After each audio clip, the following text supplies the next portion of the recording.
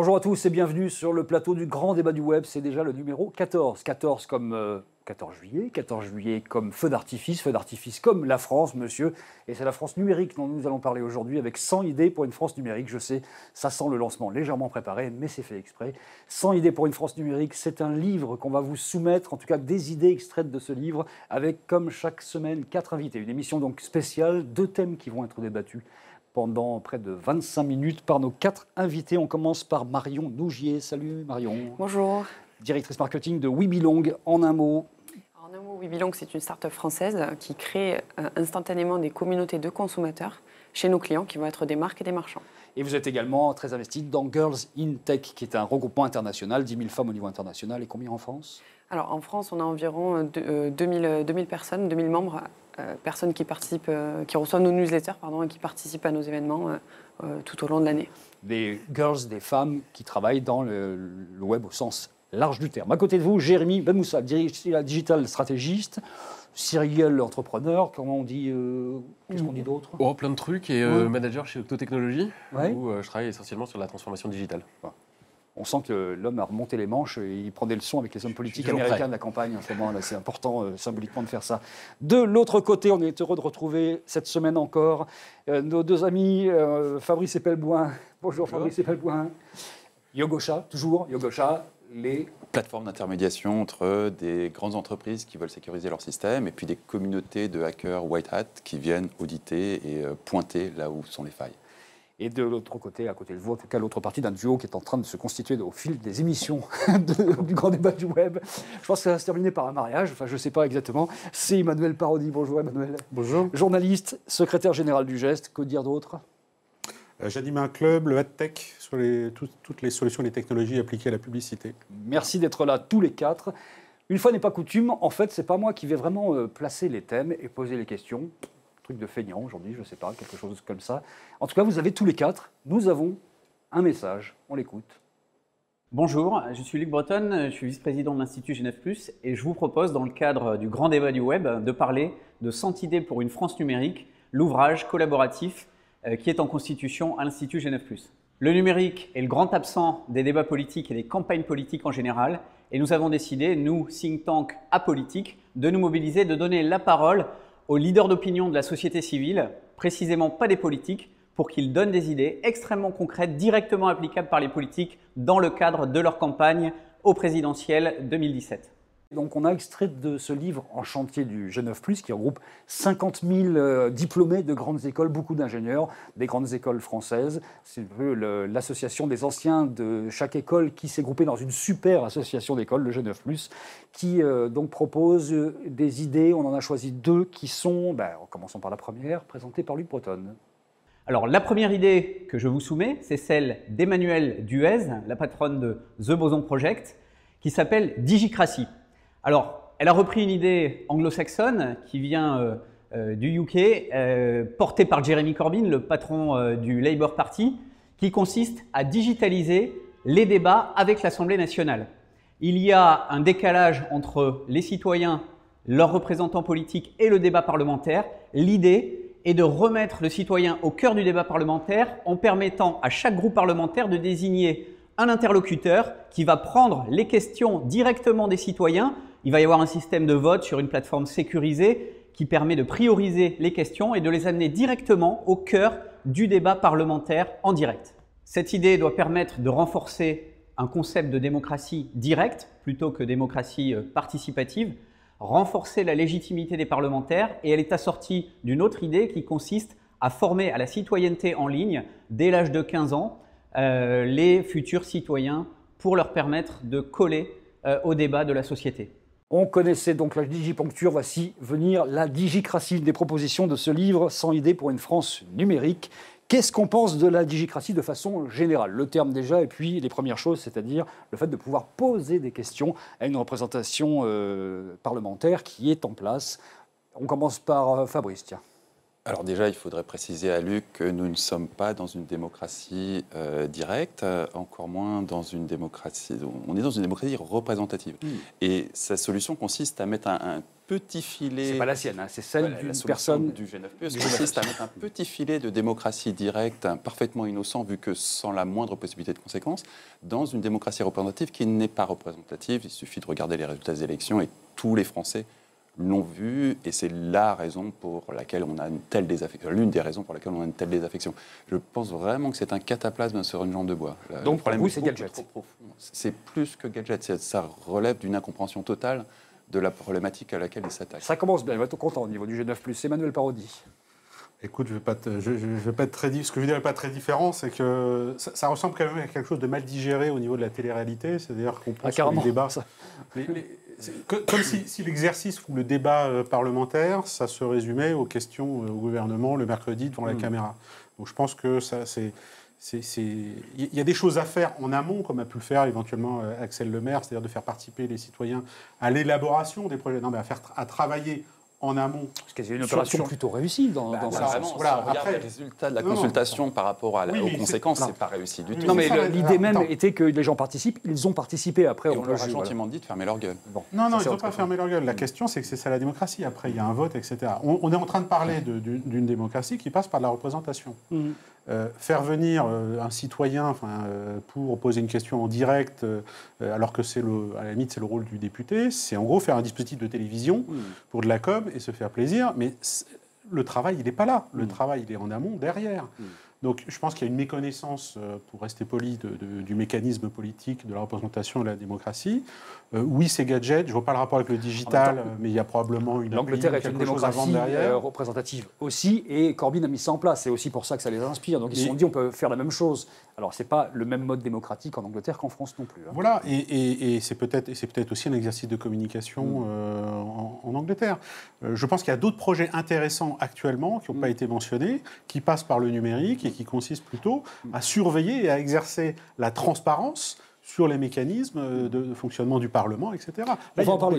on va en parler. Un petit tour de table sur le général de ce digicratie. le principe même de notre démocratie, c'est qu'en tant que citoyen, on vote pour des gens qui sont censés nous représenter. Et aujourd'hui, la désaffection des politiques fait qu'on n'a plus confiance en eux, ni pour nous représenter, ni pour être efficace globalement. Donc, euh, il y a un problème à ce niveau-là, et on est en train de dire, bah, finalement, on va court-circuiter les gens pour lesquels on a voté, et on va aller directement au Parlement. Je rejoins ce que, tu disais tout à l'heure. Je pense qu'il y a des sujets plus importants. La transparence du Parlement, qui a été voté par aucun parti. Ça a été positionné il y a deux ans. Euh, ils ont tous été d'accord pour pas le voter, on ne sait pas pourquoi. Euh, la transparence des frais, enfin c'est pareil. Hein. Il, y a, des cas où ils sont tous d'accord. Hein. Dès qu'il s'agit de transparence, à peu de choses près, ils votent plus. Je pense que si on veut faire évoluer un tout petit peu le débat, ce genre d'initiative, honnêtement, c'est tellement trollable entre guillemets que j'y crois pas une seconde. C'est amusant, c'est tout ce qu'on veut. Euh, c'est une bonne opération de com, je pense. C'est-à-dire que si on veut en faire parler. Euh, les médias se font un plaisir d'aller dire que la, parole a été donnée aux Français. Hein, je leur fais confiance pour ça. En revanche, est-ce que c'est efficace? Est-ce que ça rentre dans le débat? On a l'impression que ça aurait été une idée qui serait passée différemment il y a une dizaine d'années, quand on commençait à rentrer dans le web participatif et qu'on commence à avoir de la conversation. Qu'on se disait, tiens, génial, un peu de conversation issue du web qui peut rentrer dans le débat politique, c'était sympa. C'est ça, mais aujourd'hui, on est un peu dans le contraire. On est passé peut-être à autre chose. Hein. Aujourd'hui, on a des mouvements qui se créent en ligne euh, ou des sites, des initiatives. Il y a la primaire.org, par exemple, qui est en train d'organiser une espèce de primaire totalement euh, décorrélée du reste ça n'a pas pour vocation d'avoir un vrai impact politique, mais de donner à, réfléchir. Ça, je trouve ça un petit peu intelligent. Ça ne va pas changer le monde, hein, soyons d'accord. Mm. Mais je trouve ça intelligent. Le fait d'aller dire on va aller euh, mettre un peu de digital dans le monde politique, euh, enfin bon voilà, c'est une façon de se dire on va metêtre un peu de digital. Quoi. Demandons l'avis des femmes, de la femme, Marion. Vous allez vous présenter ou pas aux élections présidentielles? Euh, Peut-être pas, peut-être Parce qu'on en parle assez sérieusement dans le web. Là, non. Alors, qu'est-ce que vous en pensez de la digicratie? Alors, pour aller au-delà de la digicratie, je pense qu'il y, a une vraie demande, en tout cas euh, euh, de la part des entrepreneurs, de la, part des citoyens, de pouvoir euh, débattre et s'immiscer dans, le débat politique. Aujourd'hui, je ne suis pas certaine qu'un livre ou une plateforme en ligne puisse être la solution à ça. je pense que c'est important que, les citoyens se sentent impliqués dans le débat politique. Ça peut, dans un sens, enlever ce gap qui est entre les politiques et ce qu'on que les citoyens attendent vraiment. Euh, la solution aujourd'hui, je pense qu'on ne l'a pas vraiment. Euh, le fait de poser des questions à des députés, ça peut être intéressant. Euh, Je pense que le moment où ça sera vraiment intéressant, ce sera quand on, on rentrera dans une vraie collaboration et un vrai échange entre un politique et un citoyen. Sous quelle forme? Alors, je ne sais pas sous quelle forme, ça, ça peut être sous la forme digitale ou sous la forme d'assemblée ou dans des petits groupes euh, isolés.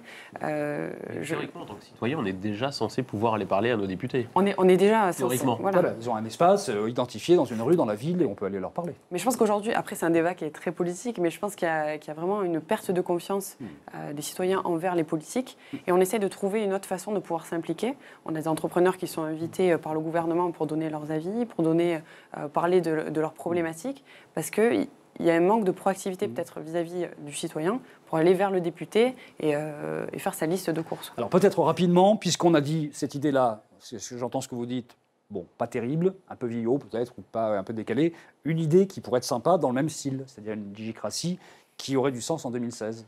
Emmanuel? Ah non, mais moi, je suis, moi, personnellement, je vois plutôt ça en, en- dans le contrôle de la démocratie, c'est-à-dire le contrôle des citoyens sur ceux qui les représentent. Mm. Donc pour moi, c'est des choses, il y a des choses qui existent déjà, Mm. euh, mais c'est effectivement accéder aux données, euh, les croiser, publier euh, le- le- les, les travaux parlementaires. Tout ça est fait. hein. Moi, je trouve qu'il y a eu des, c'est l'inverse, il y a eu des progrès énormes, mais c'est des choses qui sont euh, ennuyeuses. Mm. C'est ça la réalité. C'est que travailler sur des projets de loi, c'est des mois sur des, sur des, sur des de, de discussions et de travaux sur des choses qui sont complexes. Euh, donc c'est pas, voilà, ça se prête pas au, ça se prête pas au spectacle. Mais je pense qu'il faut soutenir des initiatives euh, là où ça fait mal en ce moment, c'est effectivement sur tout ce qui concerne la transparence, euh, la transparence de la démocratie, où va l'argent, qui décide. Moi maintenant, je suis heureux de savoir quand il y a des quand il y a des votes très polémiques, de savoir quel est le député.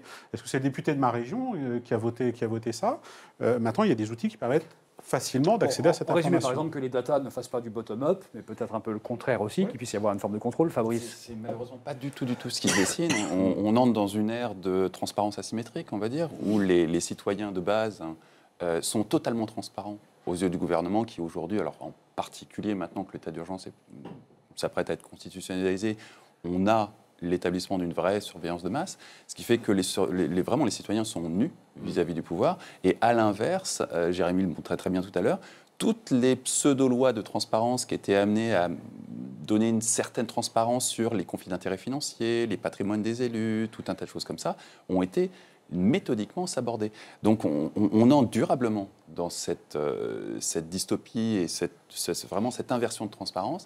Il n'y a absolument aucune raison que ça change. Ce qui va changer, c'est la dystopie, parce que vous l'avez déjà utilisé la dernière émission. sur euh, euh, future dictature, on va dire. Euh, et, et- et grosso modo, il n'y a pas vraiment d'issue en dehors d'un d'un passage de quelque chose qui est plus vraiment appréhendé comme une démocratie par la population vers quelque chose qui s'affirmera très clairement comme un régime autoritaire et sécuritaire. C'était donc la première idée, ou ce qu'il en reste, de ce livre, donc 100 idées pour une France numérique, la digicratie. Voyons la seconde idée avec Luc Breton, c'est toujours lui qui vous la présente.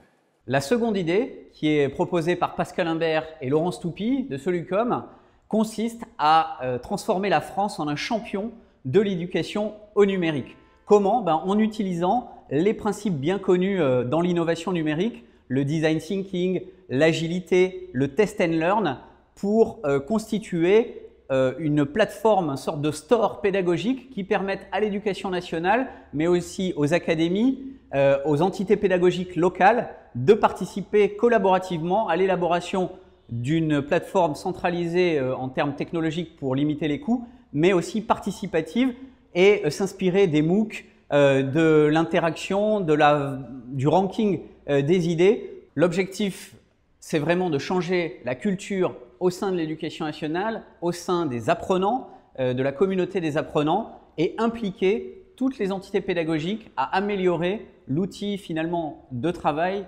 pédagogique au quotidien. Faire de la France un champion d'éducation numérique. Voilà donc la deuxième idée qui est proposée, euh, extraite telle qu'elle de ce livre. On commence par celle qui connaît le mieux l'école, puisqu'elle y était encore hier matin. C'est Marion Nougier. Qu'est-ce que vous pensez globalement de ce qui vient de se proposer là?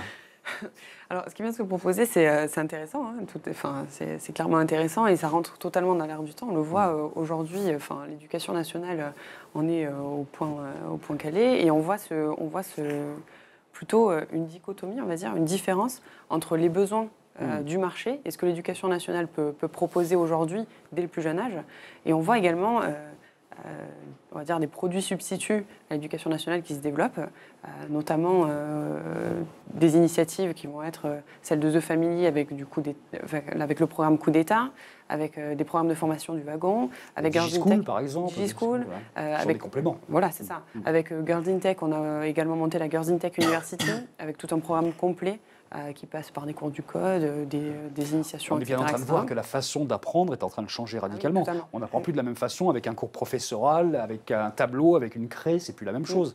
Donc la question qui se pose, c'est euh, comment on fait pour que ça, ça change vraiment et que ça s'adapte? Je pense qu'il va y avoir une, une collaboration, en tout cas, entre l'État et, euh, et ces initiatives qui, qui se créent, ou du moins les initiatives qui se créent, je pense, vont prendre le dessus, parce qu'elles sont beaucoup plus agiles par rapport à, ce que peut produire aujourd'hui l'État. Aujourd'hui, on a besoin d'AB euh, des formations, d'AB des formations qui sont en corrélation aussi avec les attentes du marché. Et je pense que je qu'on est encore loin euh, du côté de l'État sur, sur, sur ce type d'action. Donc le mastodonte, entre guillemets, je ne sais plus comment l'appelait l'ancien ministre euh, en parlant de l'éducation nationale, le mammouth ne bougera pas, c'est les alentours du mammouth qui vont bouger en fait. Vous êtes d'accord avec ça?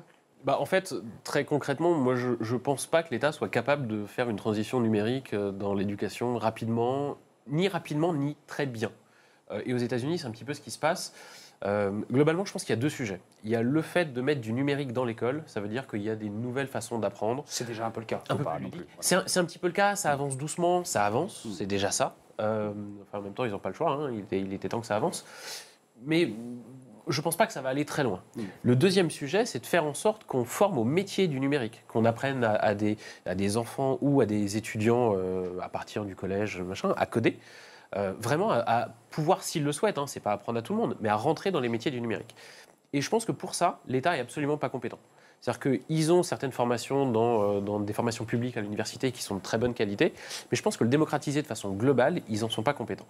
Ce qui s'est passé aux États-Unis, c'est qu'il y a une association qui s'appelle Code.org qui a décidé de se substituer à l'État qui a développé des outils avec le MIT pour Scratch, avec euh, tout un tas d'écoles, Stanford, Harvard, ils ont tous participé. Ça a donné un espèce de programme qui permet à n'importe qui de s'initier au code, donc c'est vraiment de l'initiation, et de commencer à, euh, à approfondir. Alors ça, c'est un sujet qui nous intéresse, nous, parce qu'on est dans le web, mais si on prend de façon plus générale, l'idée, c'est comment est-ce qu'on fait en sorte que demain, des élèves apprennent avec ce qu'ils aiment avoir comme support, c'est-à-dire plus un livre, mais ça, une tablette, un, un téléphone, sur des environnements assez ludiques. Et c'est là qu'ils apprennent bien. Il y, a, il y a deux ans, l'État a décidé de dépenser 700 millions pour acheter des iPads. Il a juste oublié qu'il fallait des applications dessus pour leur donner quelque chose. Et il a aussi oublié qu'il fallait former des, des gens. Euh, alors il était parti en se disant, bah, c'est les profs de maths qui vont faire ça, parce que les maths, le code, ça, ça se ressemble un peu. Bon, je pense que l'initiative n'était pas bête. Il faut bien acheter du matériel et ainsi de suite. Après, on, on est vraiment dans les toutes premières étapes. On est en train de construire cette formation-là. C'est tout jeune au niveau de l'État. Euh, c'est pas bien fait encore, mais ça a le mérite d'exister. Personnellement, je, je- je pense que ce qui est fait aujourd'hui va, va dans le bon sens parce que ça a le mérite d'exister et ça commence à prendre forme. L'intitulé de la question, c'est faire de la France un champion de l'éducation numérique. C'est la France, monsieur, c'est-à-dire la France en tant qu'État. Et donc l'éducation nationale deviendrait un champion numérique. Est-ce qu'on en est loin potentiellement, euh, Emmanuel? Enfin, on, en est loin. Moi, je comprends. euh, Honnêtement, je ne comprends pas l'idée. Euh, Il n'y a pas d'idée là pour moi. C'est- une espèce de faux queue. Euh, derrière, euh, on, on a envie de savoir c'est quoi. Qu'est-ce que ceux qui proposent cette idée ont- Est-ce qu'ils ont trouvé une méthode? Est-ce qu'ils ont trouvé euh, On est vraiment dans le cas typique où des gens qui aiment les technologies, ils, ils balancent une idée, ils disent on va faire une plateforme. Et le reste, le reste va suivre. C'est typique quand on lit euh, ce, qui est, écrit. Ils ne se préoccupent pas des enseignants, de la formation.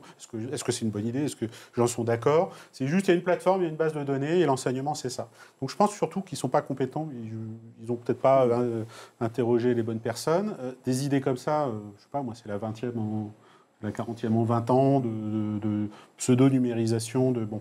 Je ne dis pas que c'est vrai, je dis y a- derrière, il n'y a rien. C'est quoi, le- c'est quoi la méthode C'est quoi le dispositif c'est, Faire une ça- grande ça plateforme nationale, bien, ça on connaît parce qu'on est très Oui, très fort en France, quand- qui coûtera 400 millions d'euros, ça aussi on connaît oui, bien. non, non, non, mais attends.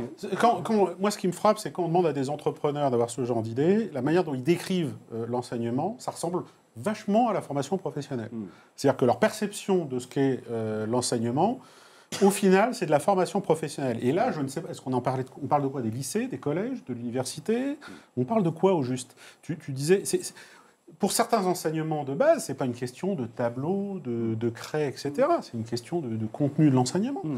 Donc, on est tous d'accord probablement pour dire maintenant il y a des nouveaux vecteurs. euh, le- l'enseignant dans sa classe, il peut s'appuyer sur d'autres choses, et, et- et ça commence à arriver. Donc, peut-être que c'est les enseignants qu'il faut aider, qu'il faut former, et que eux, utilisant les outils, vont les utiliser avec, avec, avec leurs élèves. Parlons-en avec un enseignant. Vous enseignez à Sciences Po, accessoirement aussi. Oui, euh, et mon patron à Sciences Po était en charge des, des MOOC euh, il y a encore pas longtemps. Euh, et accessoirement, j'ai très envie de dire à Luc que ça serait peut-être bien de se renseigner sur l'existant avant de faire un diagnostic. Euh, typiquement, il existe une grande plateforme de MOOC euh, de l'université qui s'appelle France Université Numérique, FUN, Fun. qui est lancée depuis déjà quelques années. Et donc, c'est quand même assez étonnant de suggérer de faire quelque chose qui existe déjà. Par ailleurs, il faut quand même bien prendre en compte la dimension économique. Euh, ça coûte cher de faire des cours, très cher, euh, des cours en ligne. Euh, et on est face à notre économie de l'éducation, qui est très clairement subventionnée en très large partie par l'État, face à un concurrent qui sont les États-Unis, où le système est essentiellement privé. Et curieusement, ça leur donne un avantage monstrueux, parce que les États-Unis, le système éducatif américain repose sur une bulle du même ordre que les subprimes. Il y a une bulle gigantesque hein, qui est constituée par les crédits étudiants qui servent à payer des universités qui valent une fortune. Et très concrètement, si l'économie américaine n'est pas capable de créer des débouchés pour ses étudiants, ce qui est de plus en plus le cas, on risque un éclatement de cette bulle. Et donc un effondrement total de tout le système éducatif américain. Donc les Américains qui ne sont pas idiots et qui ont bien anticipé la catastrophe se sont dit il faut qu'on ait un relais au cas où notre système éducatif s'effondrerait. Et ils ont investi des sommes absolument dingues. hein. Il y a un rapport de 1 à 1000 entre les investissements euh, français exclusivement ou presque publics et les investissements américains qui dépassent très allègrement le milliard. Ce qui fait que très concrètement, aujourd'hui, si vous voulez passer un MOOC, vous avez 9 chances sur 10 d'avoir un MOOC américain de très bonne qualité. Et là, indépendamment des petits problèmes franco-français ou des diagnostics qui suggèrent de faire des choses qui existent depuis des années, on n'a pas vraiment de solution. On n'a pas les moyens financiers d'être concurrentiel là-dedans. On n'a pas les acteurs qui sont de taille à lutter contre Google, hein, qui est l'un des premiers acteurs de, de l'e-learning aujourd'hui. Euh, et c'est cette réalité-là qu'il faut d'abord diagnostiquer avant de proposer des solutions qui sont déjà en place et qui déjà se heurtent à des terribles difficultés Parce qu'il se financières. passe quelque chose qui est quand même assez exceptionnel, c'est qu'un peu partout, notamment en Afrique, vous avez des hordes et des hordes de gens qui sont en train de se former avec des MOOC d'Harvard ou d'autres euh, universités, sans verser un centime à Harvard, sinon en payant euh, éventuellement le, MOOC. C'est de mais- l'impérialisme éducatif. hein, c'est- Bah, c'est de l'impérialisme. En même temps, c'est une démocratisation de la connaissance euh, qui Non, est intéressante. il peut- on peut imaginer qu'il y ait des choses positives dans l'impérialisme. Mais ça veut dire que culturellement, la façon d'enseigner et la connaissance américaine est en train de s'imposer réellement à travers le web. c'était déjà le cas. mais à travers l'éducation, ça se passe. C'est pourquoi vouloir encore créer euh, comme un OS souverain? Enfin voilà, euh, encore une plateforme Non, mais on l'a unifiée déjà, la plateforme. La, la plateforme, c'est pas un enjeu majeur. Non, C'est ju- l'open source, il suffit de la mettre en place. Mais Il y a- ju- il y a pas justement, de- mais par contre, il y a un coût phénoménal pour développer tous les cours et ainsi de suite, alors ça, que je vois moyennement l'intérêt de le faire. On peut aller euh, aider euh, certaines universités qui permanente. Si, si, ça a beaucoup d'intérêt. On, sort d'un monde dans lequel la formation, c'était une phase initiale de la vie qui ensuite euh, s'arrêtait dès l'entrée dans la vie Bien active. C'est terminé tout ça. Et les MOOC sont une solution assez efficace pour avoir quelque chose qui permette Non, de non, on va on- est d'accord. Ce que je veux dire, c'est que je ne vois pas l'intérêt d'aller créer de nouveaux MOOC alors qu'il y a des formations qui existent, parfois dans le public, et qui suffirait de les, de les transformer en MOOC pour On les rendre accessibles. Alors, non, ça, on ne transforme pas une formation existante en MOOC comme Non, ça. Mais- C'est beaucoup. On va pas ouvrir le sujet de la création des. MOOC parce que c'est un autre sujet. La plateforme s'appelle donc France Université Numérique, Fun. Je propose qu'on la rebaptise à la version donc euh, peut-être euh, G9+. G9+, on va l'appeler, je sais pas, Skyrock ou Énergie, et comme ça, il y aura quelque chose d'assez nouveau. Bon, c'était le petit gag complètement idiot. On termine par le plus 1, moins 1, parce qu'évidemment, on est à la bourre, comme d'habitude. Plus 1, moins 1, Marion. Alors moi, je voudrais faire un plus 1 sur euh, la start-up Reminiz, euh, qui est cofondée par, euh, fondée pardon, par Jack Abra, euh, qui faisait partie de la promotion Microsoft Ventures et qui fait de la reconnaissance euh, euh, faciale pour les célébrités. Donc il vient de se plugger euh, à vos box pour pouvoir, en un clic, connaître toute la biographie et toute la, la filmographie et tous les produits dérivés de cette personne-là. Donc il va... euh, Vous savez qu'on regarde la télé, on regarde une série, on regarde un truc, et tout d'un coup, on a toutes les informations associées, donc c'est le second écran en, en activité. L'application reconnaît en fait la personne qui se Mm. trouve à l'écran. Hmm. Elle va ouvrir en un clic en fait l'ensemble de ces informations et tous les produits dérivés qui sont associés. Il va vite falloir qu'on efface un certain nombre de trucs d'Internet. Il faut que ça se mette en place, cette histoire-là.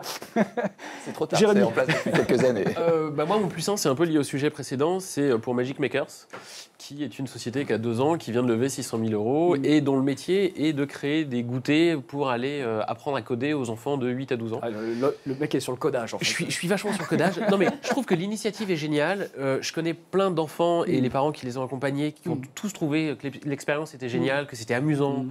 Enfin, que c'était évidemment une initiation. Hein, ils Mm. sortent pas de là en étant ingénieurs. Mais je trouve à la fois que ce- que c'est vraiment une initiative qui est géniale et je les, su- je les soutiens depuis deux ans. Et à la fois le fait qu'ils arrivent à lever de l'argent pour aller encore plus loin et démocratiser ça Mm.